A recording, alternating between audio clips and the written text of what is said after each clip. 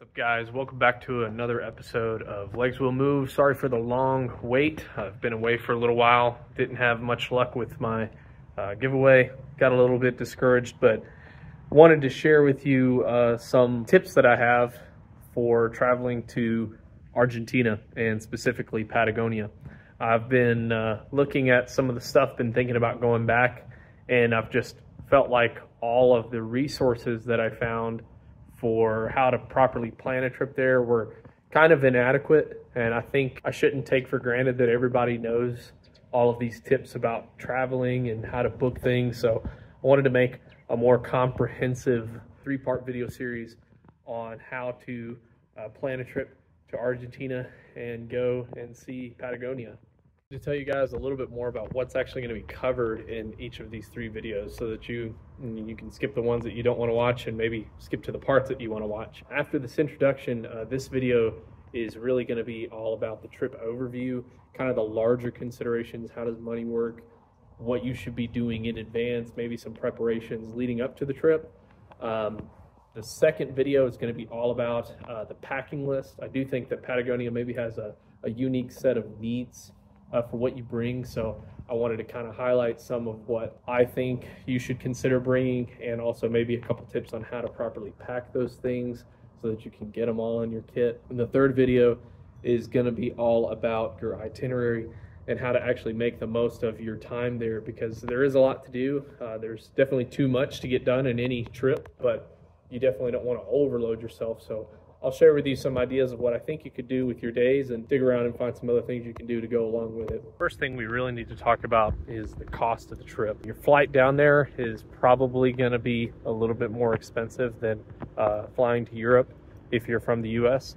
Uh, it's actually a bit further than I thought it was. I mean, just looking at it on the map, doesn't look like it'd be any further than Europe, but I had a layover in Houston, and then from Houston, to Buenos Aires, it's like an 11 hour flight. So it is very far. And because of that, it is going to be a bit more costly. But look around, plan appropriately, buy in advance, do whatever you can. Fly on a on one of those off days that are a little bit cheaper. Try not to fly around holidays, all that stuff, and you'll be able to get the cost of the flight down.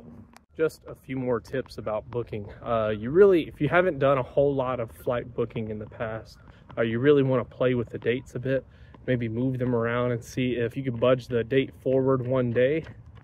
Uh, maybe instead of flying on a Sunday, you fly on a Monday, and it, it, saves you a lot of cost if you have access to that kind of flexibility in your schedule with work and how they're going to give you a vacation. Uh, play with the dates. I would try to book in advance, and that might save you some money.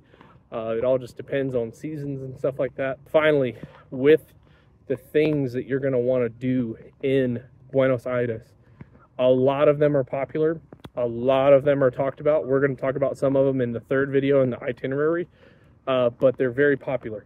You should plan on trying to book a lot of stuff in advance, especially, you know, some rooftop bars, they have reservations. Some certain restaurants are booked weeks out.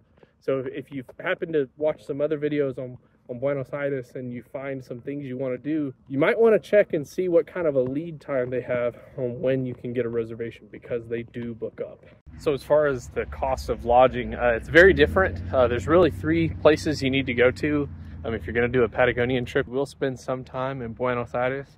And while you're there, uh, I just did some checking on both Airbnb and on some different booking sites uh, really you should be looking at $75 a night maybe less. You could definitely do less if you do like airbnb or something but with a lot of the uh, a lot of the hotels you get like free breakfast and stuff and you know maybe there's less hassle. It's all up to you but you know $75 a night will get you access to most of the lesser expensive options. You can definitely spend more than that in uh, el calafate which is where you'd be going next. You should be looking to spend 30 to 40 dollars a night uh, there are lots of great options in El Calafate at that price point, uh, especially uh, the one that I'm going to recommend. It's it's in that price range, and there's some other reasons why you want to stay at a hotel slash hostel rather than booking an Airbnb, and I'll explain that later.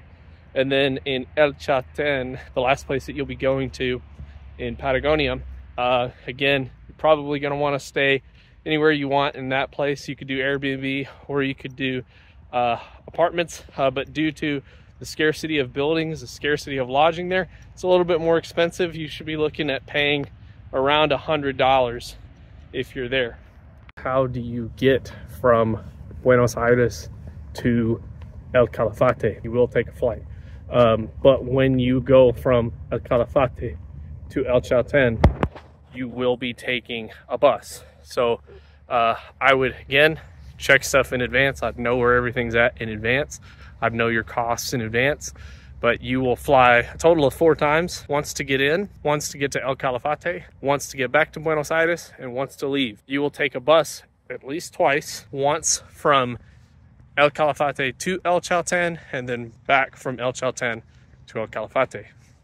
Prices are always subject to change, uh, but I did want to give you some kind of an idea of the costs that you'll be taking on uh, during those extra excursions, those extra trips. When you take the bus from El Calafate to El Chalten, all the prices that I'm seeing are coming out to around 23 to $24.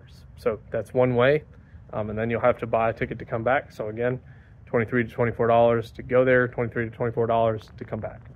Those might change. And I just looked up the flights from Buenos Aires to El Calafate, and those are running around 150. And I do believe those are round trip flights, uh, but I will double check and I will pop it up here. I guess another thing that you guys should consider is how much does stuff cost? Food is relatively inexpensive, uh, especially if you're coming from the United States. You'll find that quite a few places you'll eat. You'll eat very, very well. You'll have fantastic food and a lot of food, and your bill will come out to like 10 to 20 bucks uh, in restaurants. Obviously, there's going to be some range on this. You can get food far less expensive than that. Uh, you can get some meals that are $3, $4. Um, and then, of course, uh, if you go and you find some of the nicer places in town, I'm sure they can run a little bit higher. But you shouldn't expect to spend a lot of money every day. Um, in fact, I think, you know, budgeting between 30 to 50 bucks a day for food is more than enough. 30 to 50 bucks a day is going to be quite the budget for food. You should be good. One of the things that you should plan on doing, I think it's one of the big reasons why you even go to Patagonia is to do the big ice trek. That's the the glacier hiking and all that stuff on the ice. Um, the company that I did that through is called Hielo y Aventura, uh, or in American, that's Hielo and Aventura, if you want to have that pronunciation of it. I just checked prices. It looks like it's running a little bit over 300 bucks right now. I don't remember it being that high, but maybe it was. But anyways, like 325 bucks ish is what you're looking at on that. Yes, I still think you should do it even for that price. It's uh, definitely worth it. Uh, they will pick you up from your hotel and that's why earlier when I said, you know, between Airbnb and hotels in El Calafate, you should probably book a hotel because uh, you'll have pickup directly to your site. You just tell them where you're staying when you book it, and they'll plan on picking you up. It's after breakfast, so you can have breakfast first. They take you to the site where you can kind of oversee uh, the whole glacier. Uh, y'all do some pictures there. You'll take a boat, go across, and then you'll do the whole glacier hike. It's really cool. You might have whiskey lunch out on the glacier itself, and then they will gather everybody up and come home. It's a it's a long day. It's a full day excursion. Although you you go out for dinner that night, but uh, you you should expect you know a good bulk of your day to be taken up by that excursion, and it's totally worth it. Definitely make sure you do that. That's who I did it through. I think most of the agencies are the same roundabouts in terms of like price and experience. Uh, you cannot go to the big glacier without a guide to my knowledge so you will have to book one of these if you want to go to the glacier you have to be with a guide um, and then also uh, as far as expenses go you should also keep in mind that it's like a national park that the glacier is in and i think you still have to pay to enter the national park so if you're going there you should also plan on spending an extra like $10 to get into the park, you know, whatever that is in Argentinian pesos at the time. Uh, so just make sure that you have a little bit of cash on you. It's not going to cost you anything to hike in El Chalten, so that's kind of a wash as far as expenses go. That's good.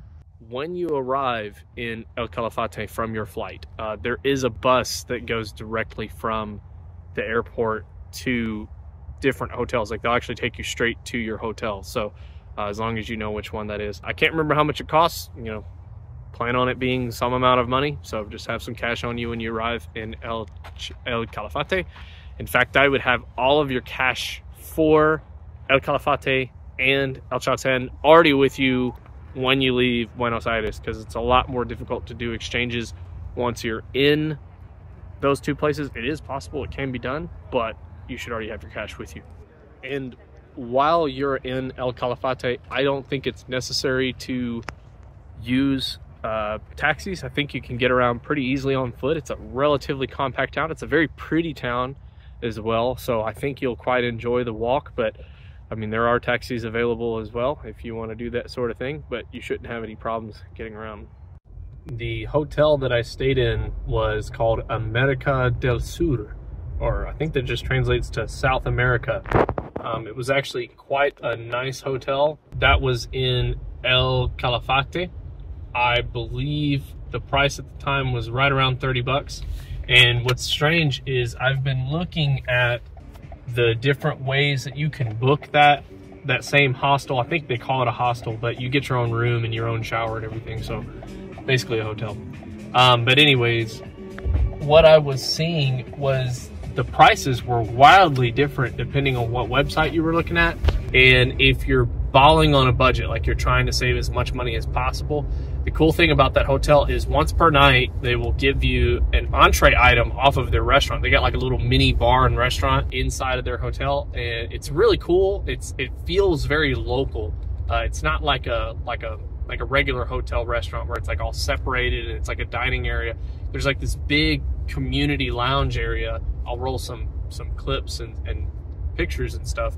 But there's this big community lounge area and they have a, a restaurant and. You can just get food and it's it's really, really good. Uh, I think a lot of people will choose to skip it only because you have so many nice options in town because that's with it being such a touristy town, El Calafate, uh, a lot of their commerce comes from the actual, you know, glacier tours that they give and, you know, the hospitality, the restaurant business, the hotel business. So there are lots of really nice restaurants in El Calafate. Um, and if you wanted to, to save a buck, uh, rest assured you're going to get some really nice food in your own hotel. So it's just something to keep in mind. And I'll just add that yes, that does also include breakfast. You knew we were going to have to talk about it, and here it is the complicated money situation in Buenos Aires and Argentina. Uh, and to my knowledge, it has gotten more complicated than it was three months ago. Uh, I'll give you a very abbreviated version of it, and then if you want to do some more research, uh, you can. Uh, but I'm going to leave you with a contact to somebody you should be reaching out to uh, he can tell you all about it. He's a local guide in Buenos Aires and he knows all about the monetary situation and he can basically tell you what you need to do with your money to make the most of it. The short bit is that for a long time, Argentina was artificially propping the value of their currency by eating the cost of difference between the exchange rate of the US dollar and the Argentinian peso. What does that mean? Uh, that means that the currency isn't as valuable as it actually is. Um, they were saying for a long time that, you know, 300 pesos equals one dollar. In fact, it was probably closer to 600 pesos equals one dollar, some, something along those lines, right? So when you exchange your money, if you do it at any sort of official institution or you use your card or you you know go to a bank ATM, you're going to get that official rate, which means you're only going to get 300 pesos. I'm using this as an example. The numbers have changed, and they change almost daily uh, but you were going to get 300 pesos if you did any sort of official transaction. Whereas there are many people who will give you the better exchange rate, the blue exchange rate, and that was going to be for that higher value for your dollar exchange rate. So, what does that mean? Well, for one, that means try not to use your credit card, try not to use your debit card. Uh, you should really be taking cash uh, to Buenos Aires and you should be exchanging your cash for cash. Uh, in the blue rate uh, because any any kind of transaction that you do with your card again it's going to go through a banking institution and you're going to get the official rate the official rate's the bad one i believe these figures have been brought a lot closer now i could be wrong you'll have to ask that guy i'm, I'm going to give you a contact and ask that guy but their new president i believe has basically ended the artificial propping of the currency although i don't believe he entirely got rid of it so there the difference is less now but I could be completely wrong about that. But you'll want to find the people and the businesses that'll give you those exchange rates. You should take cash. Uh, you should take cash to, to Buenos Aires when you go, and you should be ready to find ways to exchange that money. There are plenty of ways. The contact I'm going to give you will show you lots of ways to exchange your money, and that really should be how you get your pesos, uh, not through any other means. I'm gonna add in the contact information for this guy. He goes by the name Martin the Guide. Martin the Guide. He is a super cool tour guide in Buenos Aires. He loves his country. He's been through a lot of it. Uh, he's seen lots of the different economic swings and he is a guide. He is probably one of the first people you should see when you go there. You should book him. Um, I've had lots of citywide tours in Europe and in the United States and in several different capitals. And the best guide I've ever had uh, for a city by far was Martin. So I would recommend reaching out to him, asking him when he does his tours and, and hooking up with him. Uh, but also heed what he says because I'm still a little fuzzy on what's happened to the peso since their new president has taken office. So I'm not really for sure what's going on with it right now. Uh, but I guarantee you Martin's on top of it. But I can assure you that it's going to involve you taking cash. So still rest assured you need to bring cash you want to try to avoid using your card. Of course, have it for emergencies, but uh, you're going to want to use cash. Also, some businesses will let you use US dollars, and some individuals, you know, taxis and stuff, may let you use US dollars. You always need to ask first if you're planning on it, uh, because a lot of businesses won't, but some will. Last thing on the money topic Western Union. It's probably the best way uh, to get your cash, especially if you didn't bring any with you.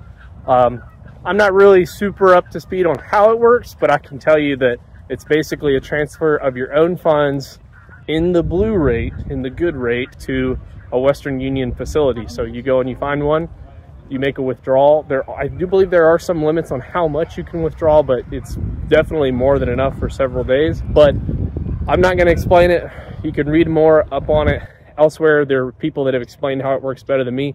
Um, and I was totally not privy uh, to it when I went there. Uh, so do a little bit of research, learn about how Western Union works, watch someone else's video on how Western Union works.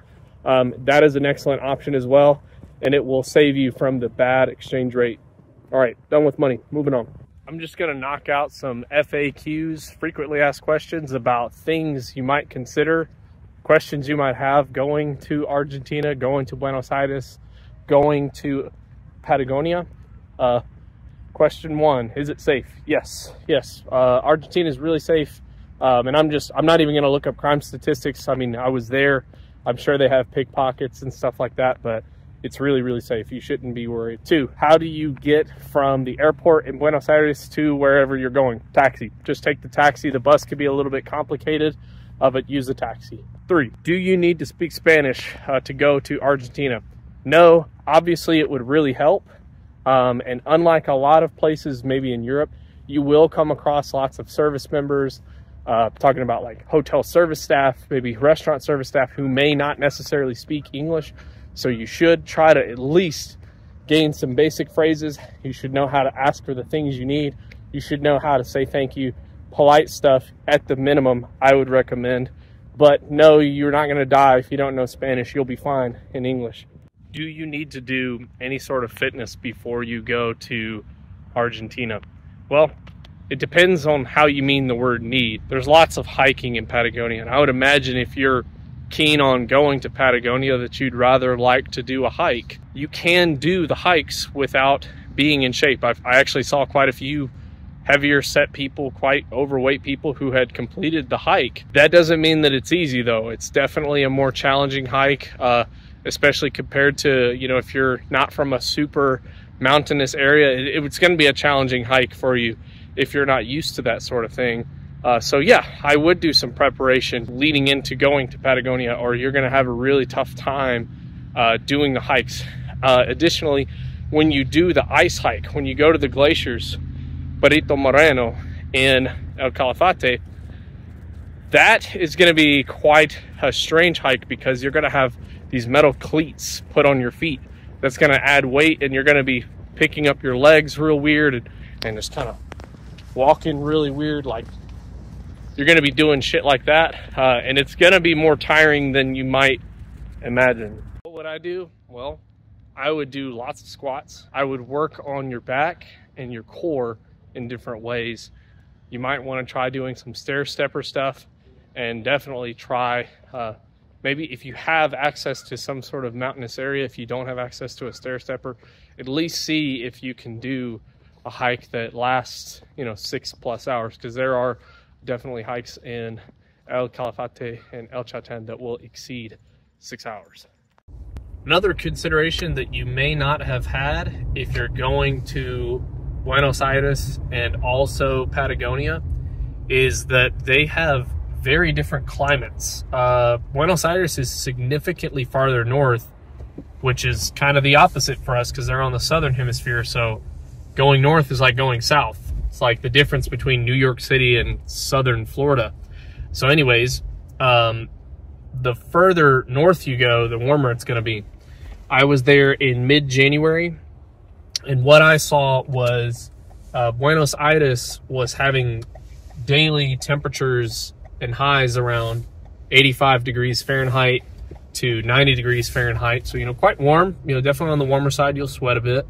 Uh, but when you go down to El Chalten and El Calafate, those temperatures are going to be much closer to 50 to 60 for the highs uh, every day. So quite a, quite a difference, um, and it can make packing a little bit complicated. I'll talk about that in the next video, uh, but you're kind of almost packing for two different climates, and that might complicate things. Well, if you stuck till the end, I wanted to say thank you uh, for watching the whole thing. I hope that this was able to help somebody uh, maybe have some kind of consideration that they didn't have before. Um, I do want to open it up for questions. Uh, so if you have any questions that I didn't cover, or if you came across something and you just want me to kind of weigh in on it, be happy to. Um, but thanks again for stopping by. This was Legs Will Move, and the next video, we'll be talking about kind of the packing list uh, and maybe how to better pack those items. And catch you in the next one. See you.